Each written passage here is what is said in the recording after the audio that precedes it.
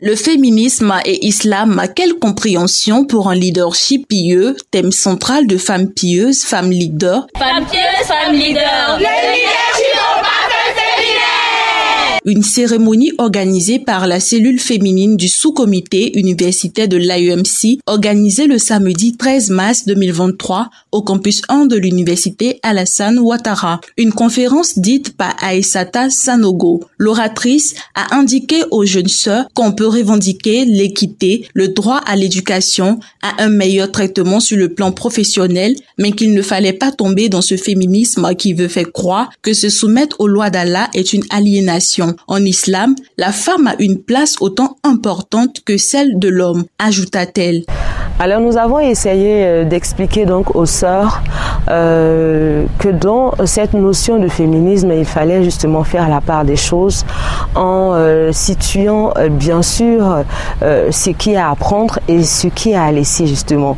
vous savez, il n'est pas mauvais en soi de revendiquer un meilleur traitement au niveau donc professionnel, salarial ou même un accès à plus de droits, plus d'équité mais en même temps, faut pas en s'autoproclamant euh, féministe euh, contribuer à faire l'apologie de certains euh, certains courants qui vont contre les principes de l'islam. Nous avons expliqué également que la femme musulmane peut exprimer son leadership dans la mesure où il s'agit de guider, de conduire, euh, euh, un, groupe d'individus vers euh, un, objectif commun. Un message bien reçu par les participantes qui étaient au nombre de 150.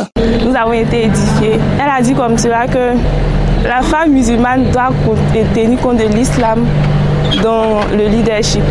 Le leadership ne doit pas la faire détourner des prescriptions de l'islam. Les organisatrices ont mis en place cette cérémonie pour valoriser le féminisme, respectant les normes islamiques tout en montrant le caractère indispensable des femmes dans tous les domaines de la vie.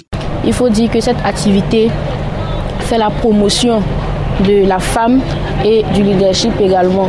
Et donc l'activité a été animée par une de nos grandes sœurs du nom de Aïsata Sanoro qui a présenté brièvement les modèles de leadership et des figures euh, personnels qu'on doit suivre pour être des modèles et des leaders, des exemples, je veux dire, dans la société. L'activité vraiment est mise en place pour essayer les liens avec euh, les sœurs des autres sections ainsi que des autres structures. Et au-delà même de cette relation-là, même on a mis aussi en place ici le leadership féminin et montrer un peu la place de la femme. Et au sortir de cette conférence, on a compris comme ça que la femme est en réalité le socle même d'un développement durable d'un État. concernant le féminisme, on a eu à dire que c'est vrai, nous devons lutter, lutter comme il le faut.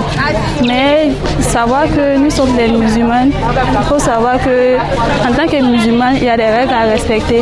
Une compétition entre sections du sous-comité et la remise de diplômes de reconnaissance ont mis fin à la cérémonie.